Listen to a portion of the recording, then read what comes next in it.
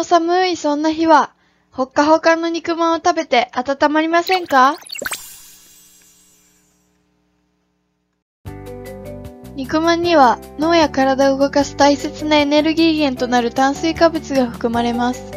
人は体に必要なエネルギーの半分以上を炭水化物から取っています。炭水化物は食事には欠かせない栄養素です。肉まんには筋肉や肌、血液、骨などの元になるタンパク質が含まれます。タンパク質は免疫機能に多くの働きを持ち、特に高齢者には筋肉量維持のために積極的に摂ることが推奨されています。肉まんは炭水化物とタンパク質が手軽に一緒に摂れる食品です。有効プセレクション横浜大飯店監修の美味しい肉まんは横浜中華街の人気店横浜大飯店の歴代料理長に受け継がれてきたレシピをもとに考案されました。具材には国産豚肉キャベツたけのこ水くわいニラしいたけ春雨を使っています。オイスターソースと香りのある醤油で味に深みと甘みを加えました。特に春雨は横浜大飯店の肉まんの特徴の一つで春雨が肉まんの中に旨味を閉じ込めています。片手では持ちきれないほどの大きさも自慢です。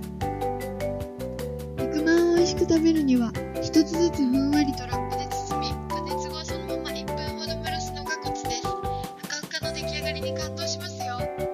蒸し器を使うと本格的な美味しさを再現できます。お試しくださいね。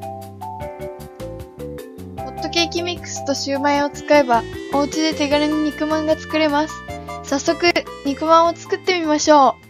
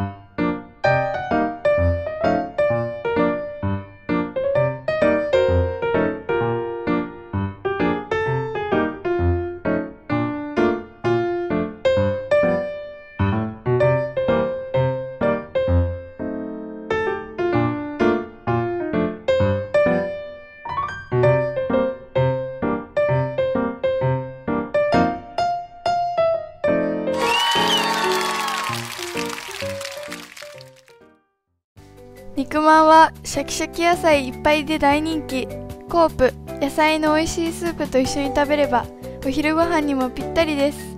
肉まんで簡単に栄養補給して身も心も温まりましょう。